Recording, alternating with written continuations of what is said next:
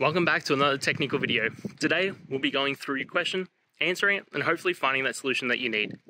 Guys, remember to stay just a little bit crazy just like me, and hopefully get through to that resolution. Let's get started.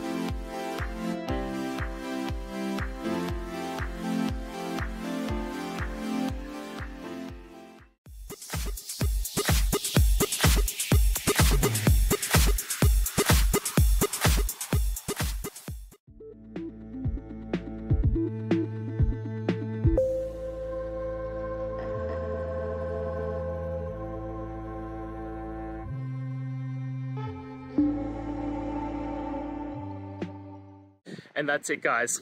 I hope we've gone through the question and found that solution you're looking for. And look, if we did, please hit subscribe. I'd really appreciate it. And until the next time you need technical help, I hope you have a good one. Cheers.